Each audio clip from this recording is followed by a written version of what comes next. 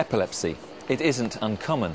Right now in the UK, one in 131 people has it, and around 75 people are diagnosed with epilepsy every single day. A person with epilepsy looks just the same as anyone else. It can affect anyone, no matter what their age, race, or background. Basically, epilepsy is a neurological condition in which people have recurring seizures, which we sometimes call fits. A seizure is caused by a sudden burst of excess electrical activity in the brain, resulting in a temporary disruption in the normal message passing between brain cells. Now, that means that the brain's messages become temporarily halted or mixed up. And seizures aren't all the same. Some appear quite minor, and onlookers might not even notice them. With some types of seizures, however, the person loses consciousness, while in other types there are different levels of awareness. In this programme, we'll focus on two particular types of seizure, and for both of these, it's important that you know the correct things to do. The first of these two seizures is the complex partial seizure.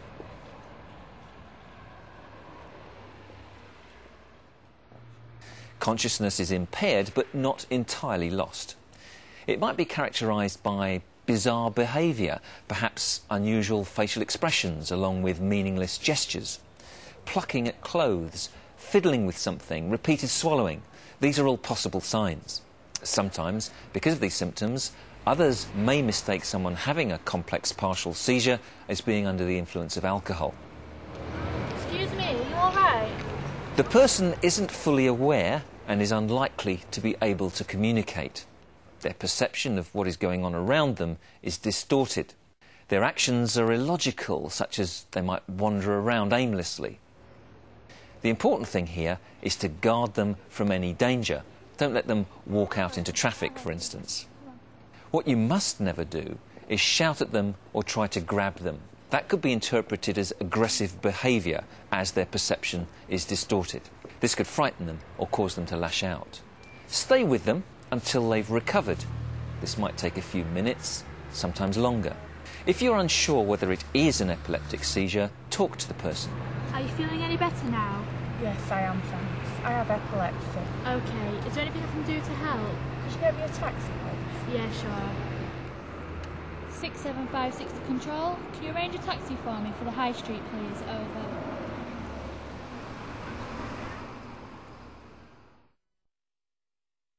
So, why do people have seizures? Well, for many people with epilepsy, the actual cause is still pretty much unknown. In other people, seizures can occur after brain damage or an infection of the brain. The type of seizure that we've just seen, only part of the brain is affected, hence its name, complex partial seizure.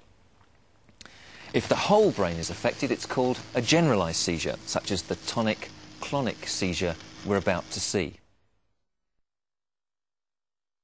This is the most recognizable type of epileptic seizure. Tonic means stiffening, and clonic means jerking, which describes the two successive stages of this seizure. Typically, it begins with stiffening of the body, a fall, convulsions, low oxygen uptake, and as a result, blue colouring around the lips and cheeks. Sometimes the person might cry out at the start of the seizure as oxygen is forced out of their lungs. It doesn't mean, though, that they're in any pain. The first aid is, again, very simple. Don't move the person unless it's really necessary, that is, that they're in some kind of danger, but cushion their head. Remove any hazards in their immediate area. Don't try to hold them down or restrict their movements, and don't put anything in their mouth.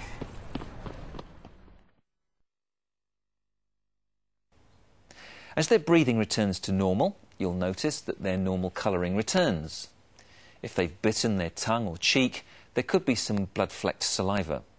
Sometimes they may be incontinent. This type of seizure usually lasts no more than a couple of minutes.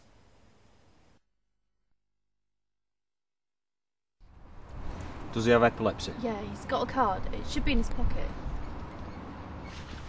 People with epilepsy sometimes wear a bracelet or carry a card that explains their epilepsy.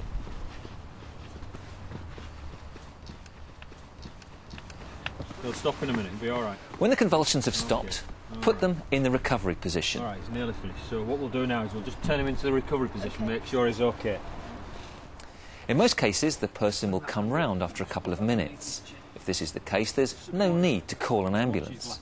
Only call an ambulance if the seizure doesn't stop after five minutes, or if it's followed by a second seizure, or if the person needs medical attention for injuries. Are you all right, Brendan? Yeah. Are you okay? You just had a bit of a seizure. All right. Just relax, nice and quietly. All right. My name's Keith. You'll be all right. We'll just look after you. Your friend's here as well. Okay. We'll look after you.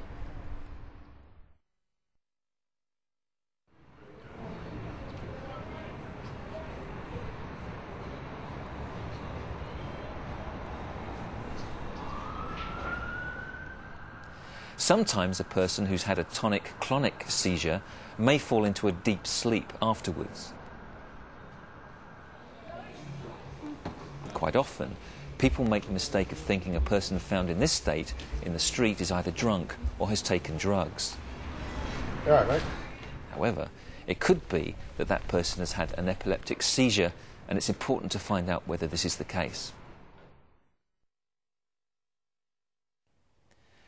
Epileptic seizures are usually easy to manage. What's important is to be aware of epilepsy, to know what the symptoms might be, and to know what to do. Mostly, it's about common sense, assessing the situation. Is the person in any immediate danger? If so, gently steer or move them to a safe spot. Keep your first aid simple. Don't do unnecessary things that might injure the person. Stay with them. Make sure they're all right once the seizure's over. If you'd like to know more about epilepsy, contact Epilepsy Action. You can phone the Epilepsy Helpline free of charge on 0808 800 5050 or visit Epilepsy Action's website at www.epilepsy.org.uk.